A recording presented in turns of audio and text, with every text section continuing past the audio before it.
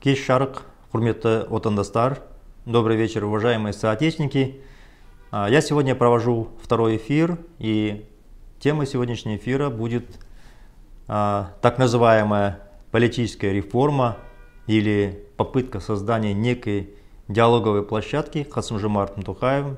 Но мы все знаем, что на самом деле Тухаев не решает. Это затея Нусултана Назарбаева. Это старая э, его фишка, которую он регулярно применяет, когда пытается отвлечь внимание общественности, запутать и увести в сторону. А, такого рода так называемые национальные советы. Вот сейчас Хасам Жамар заявил, что он создает Национальный совет общественного доверия во главе самим собой. А ранее такие советы создавал Назарбаев и в 2003 году, например, а, так называемый НКВД, тоже некий аналог. А, у него был же еще, еще более ранее, где-то в 1997 году, создавался так называемый Совет по национальному и устойчивому развитию страны. И вот таких советов, объединений а, Назарбаев столько создавал, что уже никто и не помнит. Но помнит только одно, что от них никакого толку не было.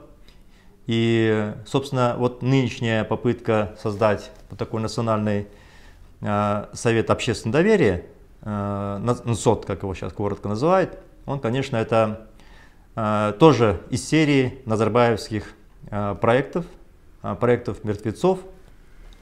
Э, сейчас очень много слухов ходит, что Назарбаев умер, э, раскидывают его тотально по WhatsApp. Люди э, взволнованы и очевидно, что в любом нормальном обществе, а, когда реально страной руководит именно Назарбаев, стоит над Такаевым, над парламентом, над Акимами областей и все прочее, то э, такие слухи недопустимы и э, в этом случае идет просто опровержение. Он дает интервью, выступает. А предыдущие годы, собственно, Назарбаев так и делал, но сейчас Э, такого рода пауза, она просто приведет к тому, что действительно наша страна полностью поверит, что Назарбаев умер, а если кто-то и появится, что это двойник, ну, со всеми вытекающими последствиями. То есть для нынешней власти это же, им же хуже будет, что называется. Вот, я сегодня хотел прокомментировать, э, что такое так называемый Национальный совет общественного доверия, что он из себя представляет и вообще Нужно ли серьезно воспринимать такие инициативы? Ну, пусть даже будем считать, что это Такаев а, заявил об этом, пусть даже так. Итак, вообще в мире все очень устроено просто. Легитимность определяется выборами, когда народ голосует, голосует за своих представителей, это депутаты, это парламент. Именно парламент является тем самым решающим местом, где принимаются нужные законы для граждан страны. Эти законы отражают настроение их, настроение людей, их требования. В этом же парламенте происходят дискуссии с представителями гражданского общества, с неправительственными организациями. А, в этом же парламенте заседают партии, потому что в парламент попадают именно партии, которые завоевали места в парламент. То есть парламенты спорят, партии дискутируют. И если какие-то партии вдруг не смогли получить необходимое количество голосов для того, чтобы участвовать в работе парламента, то, безусловно, в самом парламенте существует масса площадок, когда идут консультации, встречи с представителями а, неправительственных организаций, с партиями, которые не прошли в парламент. Ну, одним словом, со всеми слоями общества. Собственно, для этого существует парламент, существуют их приемные, приемные депутатов – Депутаты ездят по своим регионам, по своим участкам, встречаются с бизнесом, встречаются с населением, встречаются, собственно, со всеми, кто хотел бы с ними встретиться. И а, далее депутат, по сути, в парламенте отражает эту позицию. Это во всем мире так построено. Если еще существует должность президента, то, конечно, у президента существуют определенные полномочия, есть администрация президента, есть отдельное правительство, который тоже имеет разные институты взаимодействия с обществом, министерства, министры, различные агентства, разные комитеты. Далее, также общество устроено на местном региональном уровне, когда существует аким областей, городов, населенных пунктов. У этих людей, руководителей, тоже есть определенные полномочия. И эти полномочия даны народом. То есть, когда власть избирается на всех уровнях именно народом, делегируется полномочия акимам областей, городов, населенных пунктов именно самим народом, собственно, автоматически формируется площадка для взаимодействия граждан всего общества в целом с государственными институтами власти. А что же сейчас в нашей стране происходит? Возьмем простой пример. Вот, собственно, трагедия в Арыси. Мы видели разве депутатов, которые представляют э, Туркестанскую область, Южно-Казахстанский регион, собственно, сам Арысь. Мы разве видели депутатов, которые приехали как в Шимкент, так в Арысь, которые бы сейчас передавали бы настроение людей, беспокоились о них, беспокоились о строительстве домов. Это просто прямая обязанность депутатов, и, собственно, для этого существует парламент. А у нас же парламент бездействует. Почему? Потому что в реальности народ не избирает депутатов. Также народ не избирает и президента. Он три с половиной года Назарбаев с Такаевым договорились, а, Назарбаев сказал Такаеву, что ты будешь президенту, и сымитировали, собственно, сами выборы, подставные кандидаты появились, и нарисовали какое-то количество голосов. То есть президент, он нелегитимный. Он нелегитимный, соответственно, нелегитимны ни правительство, ни депутаты. Вообще вся власть нелегитимна, потому что она не избиралась честно народом на выборах. Вот, собственно, эта ситуация привела к тому, что общее недоверие – Недоверие к Такаеву. Наши граждане говорят, что Такаев не наш президент. Мы его не избирали, мы за него не голосовали. И возникает ситуация, когда нынешняя власть пытается, по сути, получить доверие со стороны граждан, создавая разные структуры в виде Национального совета общественного доверия. Хотя, что тут огород городить? Есть парламент – если ты считаешь, что не хватает контакта с обществом, с гражданами, значит парламент не работает, значит парламент нелегитимный.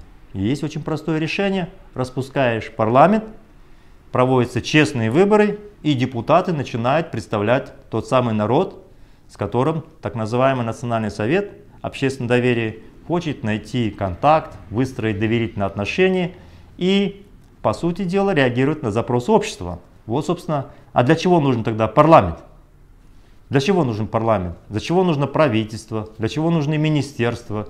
Зачем создавать такую искусственную настройку, при этом формируя состав из 44 человек, из тех людей, которые в полной мере зависят от власти, являются депутатами парламента действующего. То есть они фактически у нас парламент состоит только из Нуратана.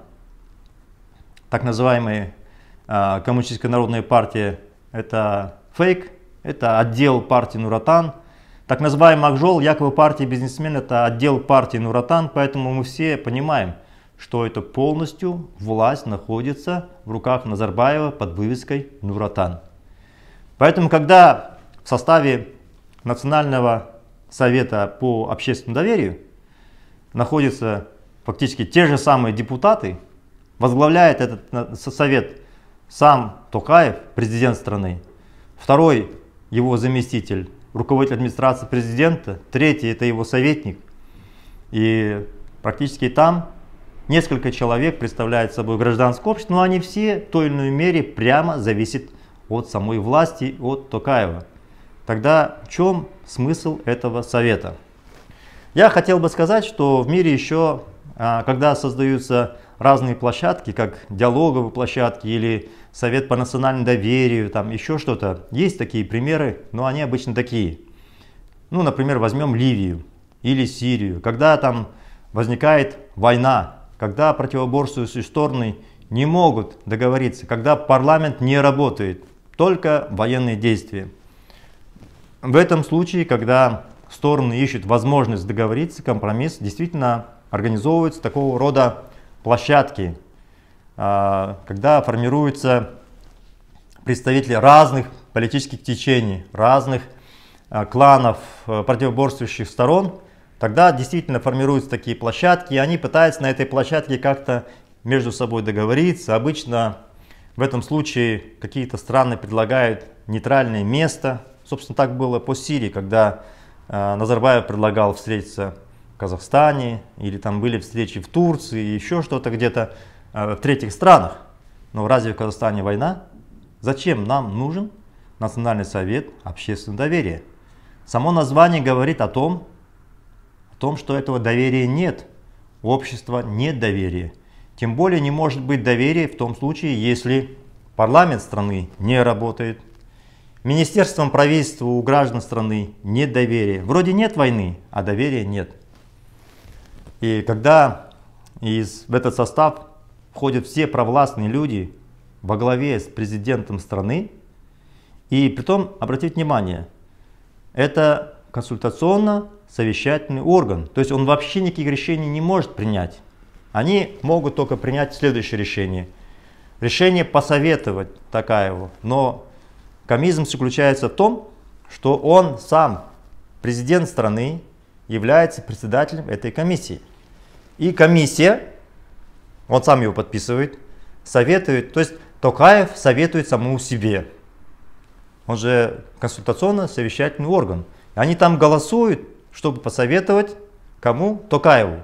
А Токаев председатель этой комиссии. То есть они, когда пишут такие документы, они даже не понимают, какие абсурдные документы они описали, написали. То есть Национальный совет, председателем является сам президент, и его голос при случае равенства голосов, чтобы ему посоветовать, посоветовать, не принять решение, является решающим. И он сам себе выносит протокол, в котором сам себе советует. Вдумайтесь, абсурд. Ну и потом, обратите внимание, тут вообще очень такие смешные вещи написаны, просто сидишь и поражаешься. Поражаешься, как у нас по этому поводу говорят, тупости тех, кто это написал. А, смотрите, что здесь говорится? Что все решения оформляются протоколом, который подписывает председатель, то есть сам Токаев. И дальше государственные органы, общественное объединение, получившие рекомендации Национального совета, рассматривают в порядке, установленном законодательством, законодательством Республики Казахстан. Так вот, законодательством, законодательством Республики Казахстан это никак ничего не предусмотрено. Это вот как бы частная лавочка напишет вам рекомендацию, вы так посмотрите на эту бумажку и выбросите и скажете, ты кто вообще? Что ты мне здесь советуешь? То есть наше законодательство Республики Казахстан не предполагает, что некий э, орган, называемый Национальным советом по доверию, общественному доверию, напишет какую-то бумажку, и он должен как-то на него реагировать. Здесь же написано в соответствии с законодательством. А в соответствии с законодательством нет никаких механизмов реагировать на такого рода совет, включая самого Такаева, включая само правительство, включая парламент. Вообще, ну нет в никаких нормативных актов, которые бы принимали советы такого нелегитимного органа. Вообще, я хотел бы вам напомнить, что Э, что такого рода затеи, как вот, например, Ассамблея народов Казахстана, вообще нелегитимный орган. Что там такое? Он сам описал список, кого-то включил. И эта Ассамблея народов Казахстана якобы организовывает дружбу народов Казахстана. Ну абсурд. Как может какая-то ассамблея, где персонально каждого включил в этот список Назарбаев, решать такие вопросы? Это опять вопрос парламента страны. Это вопрос парламента. Это, в конце концов, касается властных полномочий самого президента страны. Так здесь еще смешные вещи написано, что рабочим органом этого национального совета является соответствующее структурное подразделение администрации президента Республики Казахстан. То есть все положения, все рекомендации, что нужно, какие вопросы нужно выносить обсуждение, решает кто? Такаев спрашивается, а зачем этот тогда совет создавать? Создавать видимость. Просто видимость так называемого общественного доверия. Ну и просто все это лишний раз показывает, что это бесполезный совет, он никому не нужен. На него они просто потратят ресурсы, сымитируют определенную деятельность, и итог будет такой же нулевой, как все предыдущие советы. Что должен делать, собственно, Такаев, Назарбаев, не имеет никакого значения. Существующие органы власти, они должны стать легитимными и действительно представлять народ. Значит, если они эти функции не исполняют, они должны быть распущены. Если это говорит, например, э, если вернемся к работе парламента. Мы все понимаем, что депутаты это все креатуры Нурсултана Назарбаева, и народ их не избирал. Поэтому, если этот парламент не работает, не принимает никаких решений, не реагирует на запрос народа, он должен быть просто распущен. А тут же получается как? Этот национальный совет, они встречаются минимум три раза в год, а в реальности они пишут, это минимум, значит больше. Что-то обсуждают, притом обсуждают э, те вопросы, которые находятся в рамках полномочий президента страны, правительства, самого парламента. Они просто консультируют. Самое смешное, что, смотрите, какие задачи стоят перед Национальным советом. Оказывается, перед национальным, основными задачами Национального совета являются проведение общественной экспертизы проектов, концепций, государственных программ и нормативных правовых актов. Ну, государственные программы утверждает правительство, и некоторые из них согласовываются парламентом. Ну, нормативные правовые акты, опять же, что там, как могут они проводить общественную экспертизу а, нормативных правовых актов, если у нас есть Министерство юстиции, есть парламент. То есть фактически они передают функции полномочий некому совету, ну точнее даже дубляж, потому что их совет ничего не значит, потому что законодательная инициатива обладает парламент страны, правительство в конце концов. Но тогда смысл этого совета, если он не обладает никакими правами, только советует, консультирует, при том сам себя. Потому что председателем этой комиссии совета является, собственно, сам президент страны, включая его руководитель администрации, президент и так далее. Просто вдумайтесь, какие абсурдные вещи городит, собственно, сам Такаев и Назарбаев. Вот если начнешь его раскладывать, Тут получается вообще полный цирк. И здесь обеспечение конструктивного диалога между представителями общественности политических партий. Все политические партии, они являются назарбаевскими. О ком диалоге идет речь?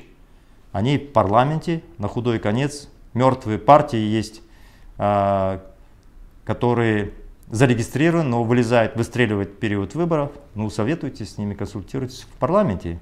Причем здесь этот совет? То есть, понимаете, здесь написано все то, что и так работает, должно работать в рамках созданных институтов власти. Зачем он создается? То есть, когда ты начинаешь читать этот документ, понимаешь, какой позорный документ рожден. Он не то что противоречивый, он не соответствует ни нормы закона, ничего. Более того, как можно самому себе советовать, находясь еще в каком-то неком совете, который принимает решение и окончательное решение за этим председателем. Зачем его создавать? То есть я такие детали объясняю, чтобы показывать, что это попытку запутать, запутать людей. Запутать и сымитировать какую-то деятельность, якобы какие-то 44 человека, которые все являются в основном нуратановцами, представителями власти. Буквально несколько человек туда затесались, попали Конечно, я считаю, что это для них это удар по их личной репутации, если они туда вошли. Зачем? Зачем имитировать бурную деятельность там, где деятельности никакой не будет? Это только просто позориться, травить свое имя. Поэтому, уважаемые друзья, вы все должны понимать, что Национальный совет по общественному доверию это просто вывеска. Она ничего не будет решать и ссылка на соответствующее законодательство, которое здесь написано в положении, говорит о том, что все эти решения можно просто выбросить в урну, потому что действующее законодательство никаким образом не регулирует, не обязывает, не приказывает, не заставляет и не принимает как руководство к действию. Ну вот, собственно, первый действия, первые шаги Токаева – это якобы списание кредитов. Вы видели, что это имитации, никаких кредитов толком не списали. А, взаимодействие с обществом, вы видите, это просто вывеска, никакого взаимодействия нет. С матерями а, говорили, что с 1 апреля будут все вопросы решены по выплатам, не решили. Он говорил, что будет демократия, все прочее, обеспечить прозрачность выборов. Вы сами видели, какие были выборы. Поэтому, уважаемые друзья, сейчас по стране распространяются слухи, что Назарбаев умер, и кто-то с надеждой ждет, что вот теперь Хасамжамарт возьмет власть в свои руки, что якобы ему кто-то мешает. Распространяют слухи, что там Дарига сейчас борется за власть и собирается там какие-то команды военные создать, отстранить такая вот власть, это все ерунда. Уважаемые друзья, чтобы вы понимали, там во власти полные амебы, начиная с Токаева. Вообще все окружение так подобрано, что никто не может принять ни одного решения. Все будут бояться, оглядываться, что на них будут стучать, и все они будут имитировать деятельность. Если завтра Назарбаев умрет, ничего не изменится, потому что в первую очередь народ молчит. Когда будет народ действовать, он любую власть заставит исполнять законы и конституции страны. Если народ не, будут, не будет действовать, будет ждать, что шукур тауба, а, что завтра что-то изменится к лучшему, давайте подождем Такаева, завтра подождем Даригу, послезавтра подождем Карим, как изменит а, ситуацию в стране, вы понимаете, ничего не изменится. И существующим руководителям, в кавычках, неизбранным народом, нет никакого резона проводить какие-то реформы. И так все хорошо. Народ молчит, миллиардами можно воровать. Ну, немножко там повозмущает в социальных сетях. А мы сымитируем деятельность, создадим национальную комиссию, соберем каких-то блогеров, каких-то депутатов, каких-то более-менее нормальных людей, но которые просто думают, что может быть а, будут полезны. На самом деле это полное заблуждение. Ни у кого не должно быть иллюзий. Пока мы не сменим эту политическую власть, политический режим, не построим парламентскую республику, все это будет действием, что называется, гора родила мышь. Поэтому, уважаемые друзья, никаких иллюзий, никакого доверия так называемому Национальному совету по общественному доверию во главе с Токаевым, нет доверия этой политической верхушки и этому режиму. Пора его менять. Создавайте ячейки, ячейки, объединяйтесь, готовьте политические забастовки, экономические забастовки. Нами создан штаб демократического выбора Казахстана. Мы помогаем создавать ячейки, мы готовимся к масштабным акциям и в этом году мы должны добиться полной смены режима. Алга Казахстан!